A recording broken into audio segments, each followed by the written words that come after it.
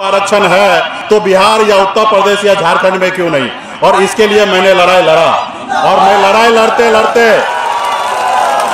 2017 में एहसास हो गया कि किसी के पीछे घूमने से आपको भीख मिल सकता है। किसी को दया आ जाए तो आपको आशीर्वाद दे सकता है, लेकिन आपका अधिकार नहीं देगा। आपको अधिकार चाहिए तो लड़ना पड़ेगा। लड़ना पड़ेगा और लड़ाई में तो होगा। एक बार हारेंगे, दो बार हारेंगे, एक न एक दिन तो आपको जीतेंगे। और हमने 2017 से लड़ाई चालू किया।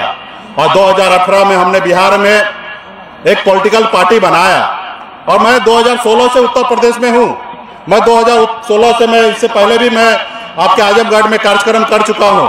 मैं 2016 में भी सामाजिक संगठन के नाते पूरे भारत में अपने समाज को जोड़ने का मैंने काम किया। फिर मुझे लगा कि एक जगह पहले बेस बनाना पड़ेगा। और फिर मैंने 2018 में एक पॉलिटिकल पार्टी बनाया। और उन्नीस में हमने चुनाव लड़ा, यूपीए गठबंधन के साथ सफलता नहीं मिला। फिर हमने मेहनत किया। और 2020 में बिहार में हमने एनडीए गठबंधन के साथ लड़कर, और बिहार में जो आज सरकार जो है, वो आपकी सरकार है। आपकी पार्टी की सरकार है। आज बिहार में एनडीए की सरकार है। भले आपके पास चारे विधायक है लेकिन जितना चौहत्तर विधायक वाले के पास पावर है, उतना ही चार विधायक वाले का भी पावर है। क्योंकि आपको मालूम होगा कि बिहार में सरकार बनाने के लिए 122 विधायक की ज़रूरी होता है और बिहार में 125 विधायक है। चौहत्तर वाले के पास जितना पावर है, चौहत्तर वाला अगर कल हट जाए सरकार से तो सरकार गिर जाएगा। उसी तरीके से चार वाले के पास भी उतना ही ताकत है कि चार हट गया तो बिहार का सरकार गिर जाएगा। तो ये ताकत है आपके बिहार में। और हम लोगों ने आज माननीय मुख्यमंत्री श्री नीतीश कुमार जी के नेतृत्व में बिहार में हमारी सरकार चल रहा है। और हमने वहाँ पे निषाद समाज को सर गर्व से ऊँचा है और बिहार में निषाद का सरकार है। और जहाँ पे भी जो भी समस्या है, उसको हम लोग सॉल्व करते हैं। समाज के लिए मैं योजना बनाता हूँ। समाज के लिए मैं काम कर रहा हूँ। जो योजना कभी नहीं चल रहा था, आज वो योजना बना रहा हूँ, क्योंकि वो सरकार हमारी है। आज बिहार में सवा दो लाख करोड़ रुपया का बजट बनता है। और सवा दो लाख करोड़ का बजट जब बनता है, उस बजट बनने के समय में आपका बेटा, आपका भाई सनत मल्ला उस टेबल पर बैठा रहता है और वो बजट के बारे में बात करता है कि किस जाति के लिए, किस समाज के लिए, बिहार के विकास के लिए कैसे काम करना उसके लिए डिसीज़न लेता है। आज बिहार में जब सरकार की बात होता है एनडीए का, जहाँ पे चार कुर्सी लगता है, जहाँ पे चार कुर्सी लगता है तो एक तरफ़ माननीय मुख्यमंत्री श्री नीतीश कुमार बैठते हैं तो एक तरफ़ बीजेपी का बैठते हैं, उसी तरीके से सनत मल्ला भी बैठता है और जीतन राम मांझी भी बैठता है, चार पार्टी मिलकर बिहार का डिसीज़न लेता है। तो आज हमें ये कैसे मिला? ये ताकत कैसे मिला? ये हम लोगों ने लड़ा, ईमानदारी से लड़ा। नहीं तो आज़ादी के 75 साल बीत गया। हमारा समाज दूसरे दूसरे पार्टी के पीछे घूम घूम कर एक टिकट के लिए, एक एमएलसी के लिए, एक सांसद के टिकट के लिए सारी ज़िंदगी बिता देता था। अपना चप्पल खींच देता था, लेकिन उनको एक टिकट नसीब नहीं होता था। लेकिन बिहार में निषाद का बेटा टिकट मांग नहीं रहा, टिकट बांटने का काम किया है। और हर जाति धर्म के लिए हम लोगों ने काम किया है। तो इसलिए साथियों, आप सभी को भी लड़ना पड़ेगा। आज मैं उत्तर प्रदेश में आया हूँ। पहले से भी मुझे उत्तर प्रदेश से प्यार है। मैंने 2016 में उत्तर प्रदेश में घूम घूम कर देखा, क्योंकि 2014 से पहले राजनीति का मुझे एबीसीडी नहीं पता था। लेकिन 2014 से लेकर बिहार से लेकर उत्तर प्रदेश तक मैंने बहुत कुछ सीखा। बहुत लोग अपने मिले, बहुत लोग पराये मिले, लेकिन मैंने सबसे मैंने सीखा और बिहार में झंडा गाड़ा है। तो इसलिए मैं आप लोगों के बीच में आया हूँ कि उत्तर प्रदेश में भी निषाद का वो ताकत है कि उत्तर प्रदेश में भी झंडा गाड़ सकता है। पहले पहले राजा के घर में बच्चा जन्म लेता था, बड़ा बेटा होता था तो उसको राजा बनाया जाता था। लेकिन अभी लोकतंत्र है, जिसके पास ज़्यादा संख्या, जिसके पास ज़्यादा वोट है, वही व्यक्ति जिसको चाहिए उसको राजा बनाएगा।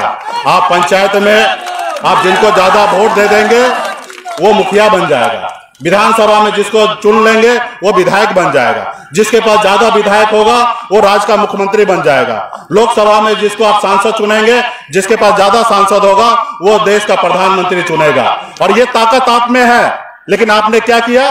दूसरे को चुनते आया। लेकिन बिहार के निषाद ने अपने को चुना और अपने आप को सत्ता में पहुँचा है। उसी तरीके से उत्तर प्रदेश में भी आपको अपने लिए लड़ाई लड़ना पड़ेगा। आज पचहत्तर साल बीतने के बाद आपका सम्मान क्या है?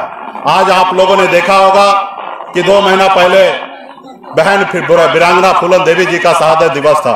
और हम लोगों ने मनाया कि प्लान किया कि पूरे उत्तर प्रदेश में, हर मंडल में उनकी प्रतिमा 18 फीट का लगाया जाए, उनको माल्यार्पण किया जाए। लेकिन आप सबको पता होगा कि आपके माता बहन वो जो स्वर्गीय हो चुके हैं उनको भी ये सरकार सम्मान नहीं दिया। पूरे उत्तर प्रदेश में कहीं पे मूर्ति लगने नहीं दिया, कहीं पे माल्यार्पण नहीं होने दिया। ये आपकी ताकत है? आज आपके मरे हुए, आपके आपके साथ जो शहीद हो गया, ऐसे माता बहन को अगर सम्मान नहीं दे रहा है तो हम लोगों को कैसे ये सरकार सम्मान देगा? तो इसके लिए आपको अपना सरकार बनाना पड़ेगा। अपनी पार्टी को पहचानना पड़ेगा। आज बिहार में, हमने पूरे बिहार में, जहाँ चाहा वहाँ पे कार्यक्रम हुआ। हम तो अपने बंगला में भी 18 फीट का प्रतिमा माँ फूलन देवी का मैंने लगा के रखा किसी का ताकत नहीं कि रोक सकता है। तो ये हमने ताकत बनाया है। यही ताकत आप लोगों को भी उत्तर प्रदेश में बनाना पड़ेगा। और मैं जो देख रहा हूँ कि उत्तर प्रदेश में जो हमारे समाज के पास जो ताकत है जो सूझबूझ है जो काम करने का तरीका है जिस तरीके से हमारा समाज कैडर है उसी तरीके से अगर हमारा समाज मजबूती से 2022 में लड़ेगा तो बिहार से ज़्यादा हम लोगों को उपलब्धि उत्तर प्रदेश में मिलने के लिए जाएगा साथियों। इसके लिए आप सभी को एक होना पड़ेगा। मैंने जिस तरीके से उत्तर प्रदेश में जैसे जागरूक है, ऐसे अगर बिहार में अगर जागरूक हो जाए तो निश्चित तौर पे आने वाले समय 2025 में बिहार का मुख्यमंत्री निषाद का बेटा होगा और कोई नहीं होगा। तो इसलिए लेकिन संघर्ष करना पड़ेगा। बगैर संघर्ष किए, कुछ नहीं होगा।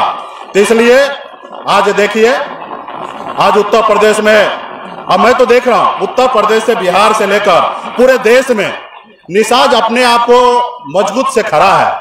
लेकिन जो हम लोगों का नेतृत्व करता है, जो जनता का नेतृत्व करता है, उसी में कमी है। वो समय आने पे बिक जाता है। आज हम 2022 में बिहार नहीं, उत्तर प्रदेश, आपको पता है कि जिसको दिल्ली में राज करना है, वो उत्तर प्रदेश होकर दिल्ली पहुँचता है। उत्तर प्रदेश इतना बड़ा प्रदेश है कि तीन चार राज्य का बराबर एक उत्तर प्रदेश है। और जिसको उत्तर प्रदेश में ताकत हो, वो दुनिया का हर ताकत, हर शक्ति को, दुनिया के हर शक्ति को वो झुका सकता है। लेकिन अभी समय आया 2022 में चुनाव होना है। हमें बड़े बड़े ताकत को झुकाना था। उनसे बात करना था कि भाई आरक्षण दीजिए, जो आपने वादा किया है। आज हमारे लोगों को सम्मान दीजिए, हमसे गठबंधन कीजिए। आज हम आपको 15 परसेंट वोट देंगे तो 15 परसेंट सीट हमें भी मिलना चाहिए। आज 200 403 सीट है 15 परसेंट का मतलब 60 सीट है। 60 सीट आपके पास आएगा 40 50 जीतिएगा, आपके दम पे राज का सरकार चलेगा। जब राज के सरकार आपसे नाइंसाफी करेगा, दो मिनट में आप सरकार गिरा सकते। आज हमें ये समझौता करना था, लेकिन हमारा नेता क्या किया? एक एमएलसी में झुक गया, जिसको अपने घुटने में झुकाना था, अपने जूते में झुकाना था, अब ऐसे जगह पे खुद झुक गए। अब बताइए, ये ऐसा होता है? आज तो हम एनडीए के साथ है बिहार में, लेकिन हमने कह दिया कि आपकी मेरी दोस्ती से बिहार में। बिहार से बाहर आपसे दोस्ती नहीं है, बिहार से बाहर तो निषाद से हम दोस्ती है, निषाद का बेटा है, इसलिए गर्व से कहते हैं कि मैं सनत मुल्ला हूँ। और होगा समझौता?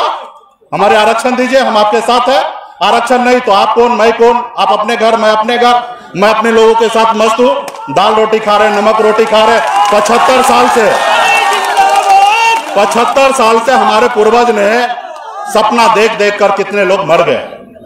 आज हमें वो सपना को साकार करना है। फिर लड़ेंगे? क्या होगा? 2022 में सफलता नहीं मिलेगा। 2027 में मिलेगा?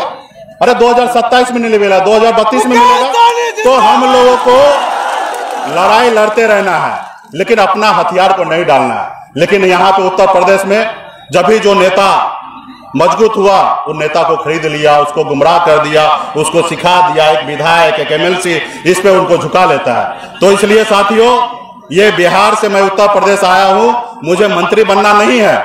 मुझे विधायक नहीं बनना है, ना ही एमएलसी बनना है। मैं ऑलरेडी बिहार में हूँ, क्योंकि बीच में मैं लखनऊ में गया था, एक माता बहन वहाँ पे मिले बोले आपके साथ हम हैं। आप मंत्री बन जाइएगा तो भूल मत जाइएगा। तो हम उनको बोले, क्या आपको मैं अभी मंत्री नज़र नहीं आ रहा हूँ? मैं तो अभी भी मंत्री हूँ, लेकिन मैं आपको याद करता हूँ। आज मैंने एक हिसाब से पायलट बोल दिया कि हम नहीं जा सकते। हम बोले, किसी भी हालत में जाना है। बोला, सर, बहुत रिक्स होगा। बोला, रिक्स जो होगा होगा।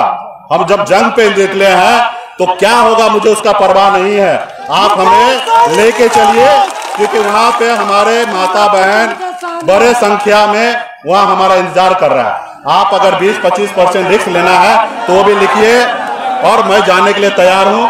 और हमारे पायलट साहब को भी विशेष तौर पे मैं धन्यवाद दूँगा कि उन्होंने भी रिक्स लेकर यहाँ पे लेके आया। और आप लोगों ने भी मजबूती से यहाँ पे काम किया। तो इसलिए साथियों पूरे बिहार उत्तर प्रदेश में अभी हम लोग काम कर रहे हैं पार्टी को